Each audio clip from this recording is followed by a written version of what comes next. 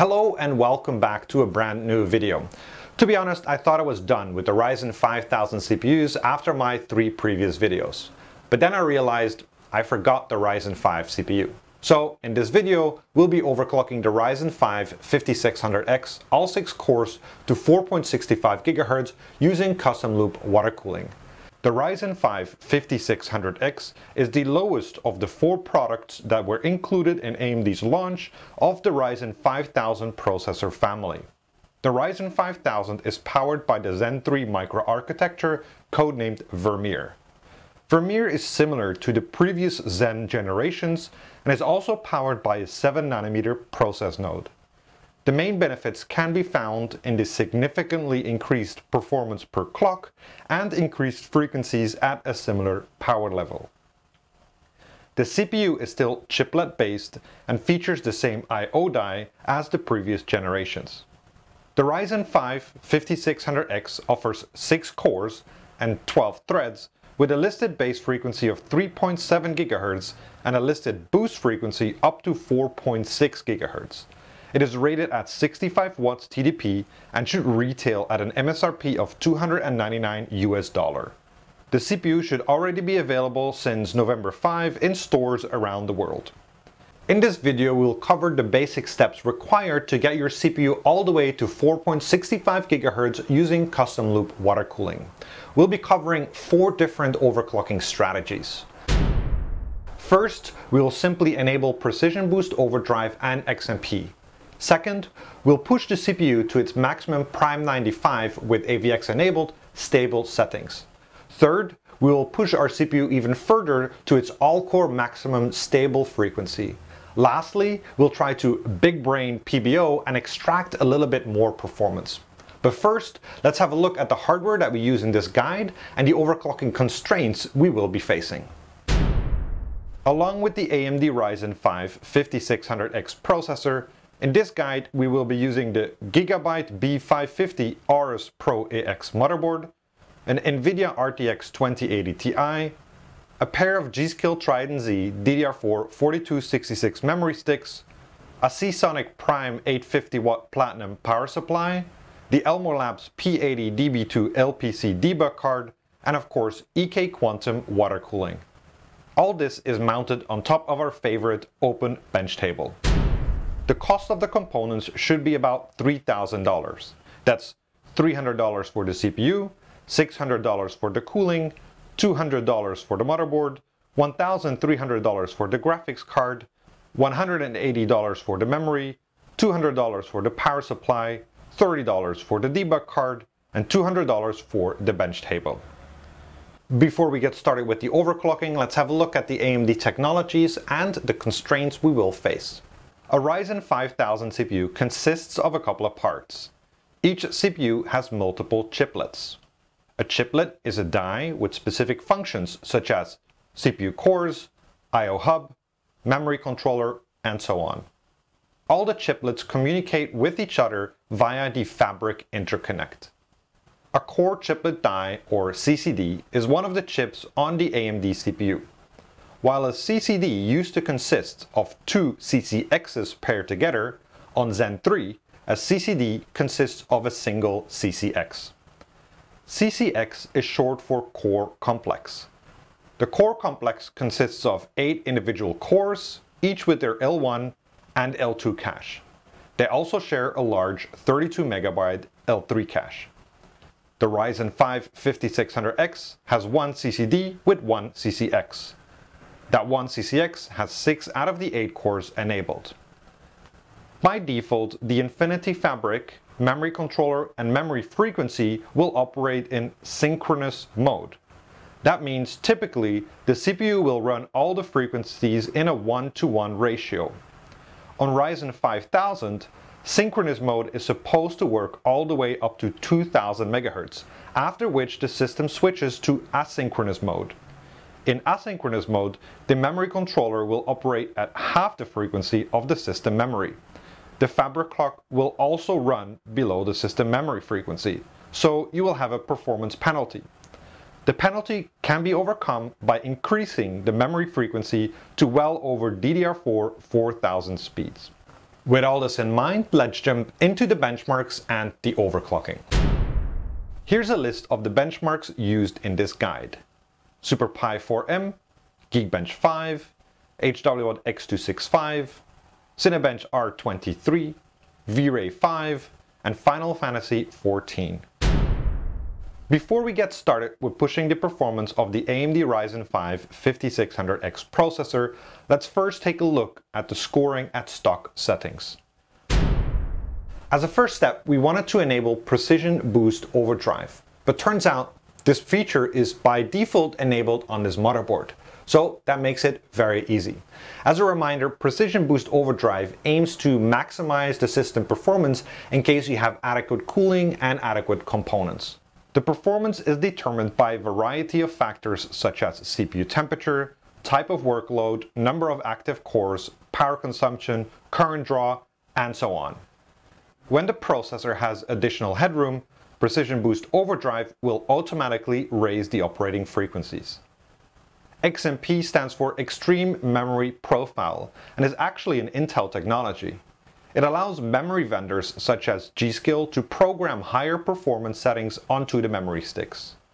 If your motherboard supports XMP, then you can enable the higher performance with a single BIOS setting. So it saves you from lots of manual configuration. Upon entering the BIOS, click on XMP disabled and set it to XMP profile 1, then click Save and Exit to confirm the settings. We reran the benchmarks and checked the performance increase compared to default operation. There are two important notes to make. First, bear in mind that while by enabling XMP we have effectively doubled the memory frequency from DDR4 2133 to DDR4 4266, the Infinity Fabric and memory controller are still running at default frequency of 1066 MHz. So we are running asynchronous mode. Second, as I mentioned in the beginning of this section, by default this motherboard has Precision Boost Overdrive enabled. While some may disagree, I think this is the right decision since it offers much better performance to the user out of the box. Just so you have an idea of how much better the performance really is, I quickly disabled the turbo in the BIOS and checked the performance difference. Upon entering the BIOS, press F2 to enter the advanced mode view then enter the Advanced CPU Settings submenu and disable Core Performance Boost. Then save and exit the BIOS. As you can see, Precision Boost Overdrive is quite the treat when it comes to out-of-the-box performance. Anyway, let's jump into the manual overclocking. In addition to overclocking the CPU to 4.4 GHz, we also enable XMP, but leave Infinity Fabric and the memory controller to default operation. So we're running a synchronous mode. Also, this is the highest setting that is stable for Prime 95 with AVX. Upon entering the BIOS, change to the advanced mode view. Set CPU clock ratio to 44, set extreme memory profile to profile 1, Set CPU vCore to 1.25, then save and exit the BIOS. We reran the benchmarks and checked the performance increase compared to default operation. We can notice a couple of things. First, just like with the previous generation of Ryzen CPUs, we lose performance against default settings in single-threaded light workloads. The reason is that by default, the frequency would boost to 4.6 and even 4.65 GHz, whereas with our manual overclock, we are limited to 4.4 GHz. Second, we can see a positive impact of the additional performance from running the system memory at much higher frequency using XMP. This helps overcome some of the deficit we see from the lower than default boost CPU frequency. Running Prime 95 small FFT with AVX enabled at 4.4 GHz, we're seeing a peak CPU temperature of 93 degrees centigrade and a peak CPU package power of 102 watts. Now let's have a look at post Prime 95 overclocking capabilities. If we ignore Prime 95 with AVX, we can further push the CPU to 4.65 GHz while having XMP enabled and the Infinity Fabric and memory controller still at default settings. Upon entering the BIOS, change to the advanced mode view. Set CPU clock ratio to 46.5. Set extreme memory profile to profile 1. set CPU vCore to 1.376 volts, then save and exit the BIOS. We reran the benchmarks and checked the performance increase compared to stock operation. As expected, the performance continues to rise. Most importantly, all our benchmarks are now above our stock performance. At this point during my Ryzen 5 5600X overclocking journey, I was a little bit disappointed. Based on the overclocking results I have seen from the previous three videos, I was somehow expecting a little bit more overclocking headroom maybe I set myself up for disappointment because are you really meant to win the Silicon Lottery with a Ryzen 5 CPU? Not just a Ryzen 5 CPU, but it's also the only 65 watt rated part in the entire lineup. So in the end, having all cores overclocked to higher than the maximum turbo frequency to 4.65 gigahertz is still kind of nice. Anyway, I thought this was pretty much the end of the journey to find and extract more performance from the CPU, but then I had an idea.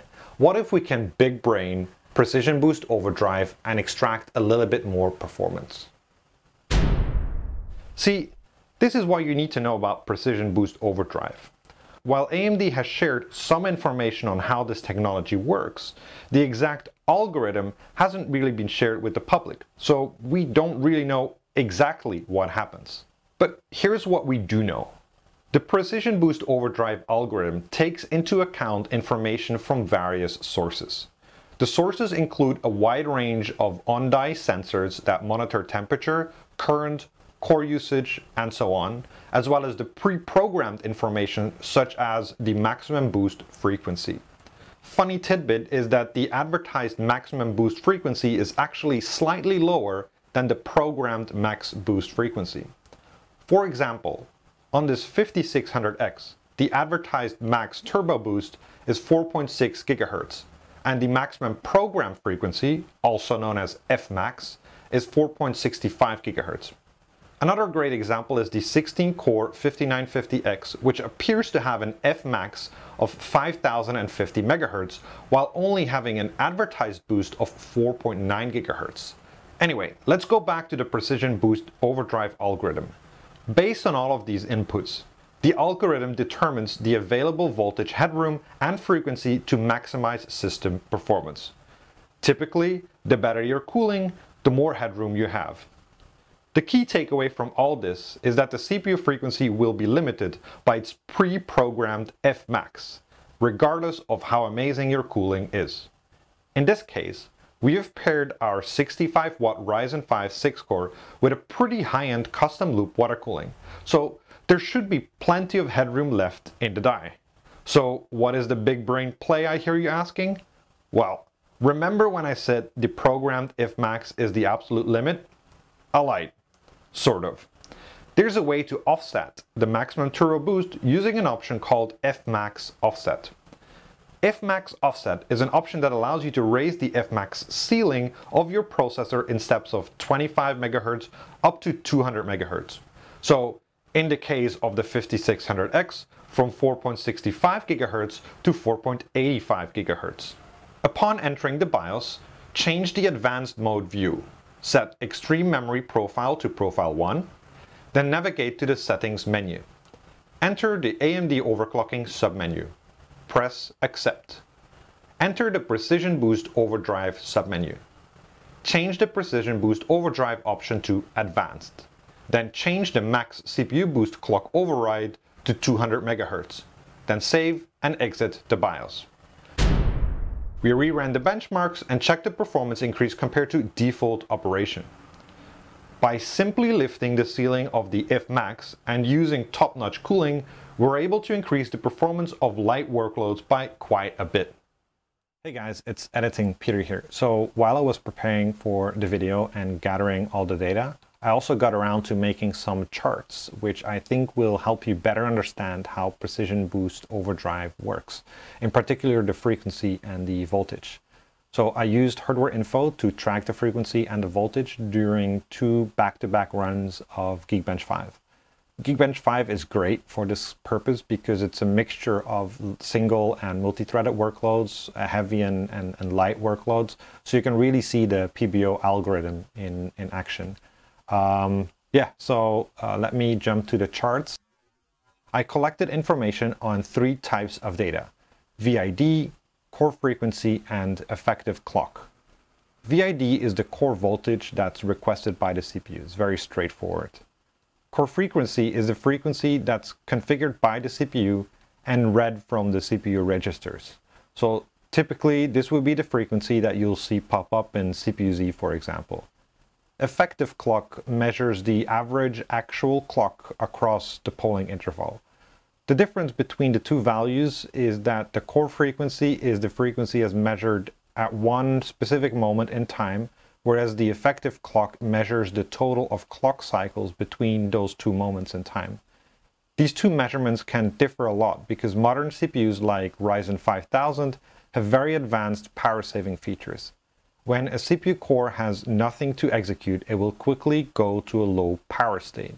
This is great because that opens up more power budget for any of the other cores that do need to execute. So those other cores may boost to a higher frequency. So let's have a look at the frequency behavior. I took all the data points of the operating frequency of each core at every timestamp and placed them in a bucket of 50 MHz ranging from 3 GHz to 4.85 GHz. We find that with automatic PBO, the core frequency throughout the two benchmark runs is at base frequency about 35% of the time and spends about 20% of the time at the Fmax of 4.65 GHz. Hitting the maximum frequency so often is a great indication that most likely there's plenty of headroom left in the CPU. PBO with Fmax offset of 200 MHz has the CPU configured about 20% of the time at 4.65 to 4.85 GHz and almost 10% of the time at the maximum frequency.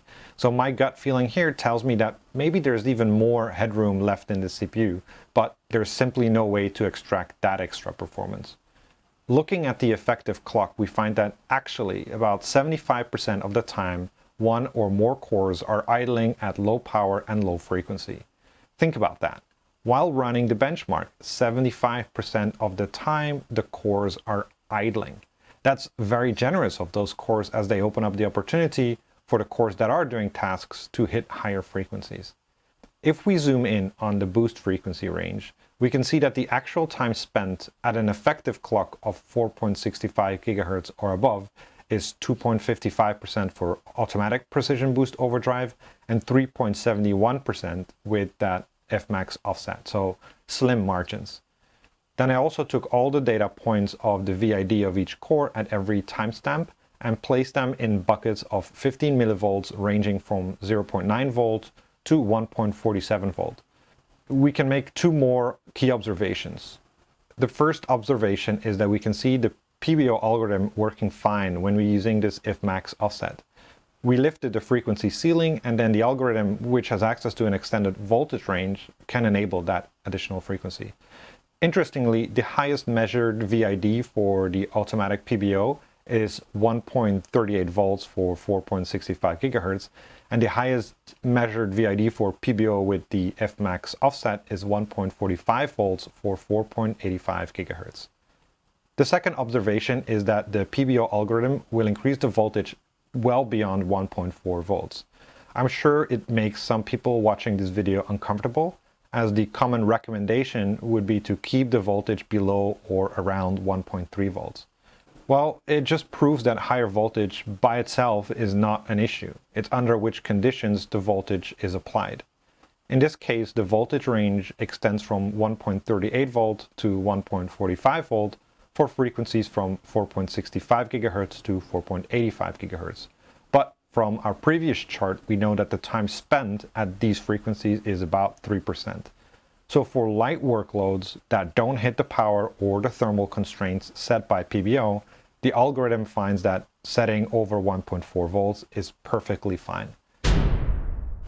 Alright, let's wrap this video up. I am glad we finally got around to covering all of the AMD CPUs that were included in the Zen 3 launch. My expectation for the Ryzen 5 5600X, based on the experience with the three other CPUs, was to end up around 4.7 or 4.8 GHz. But we didn't quite get there. We got to 4.65 GHz, which is still good considering that the maximum advertised boost frequency is 4.6 GHz. When it comes to manual overclocking, as I pointed out in my previous videos, Zen 3 is not that much different than Zen 2. That is, you know, if you're going to be tuning for an absolute worst case scenario like Prime 95 with AVX, you're going to be losing out on a lot of single threaded performance. My recommendation for the 5600X would be stick with Precision Boost Overdrive and enable XMP for a little bit better performance. If you have a great cooling solution, then look into FMAX offset to raise the ceiling of the PBO and find even more additional performance. If you have a great cooling solution and you somehow won the silicon lottery and your CPU can do over 4.65 GHz with all cores, then just go for that option. All right, that's it for this video. If you have any questions or comments, feel free to drop them in the comment section below. I try to answer as many as, as possible. And until the next time.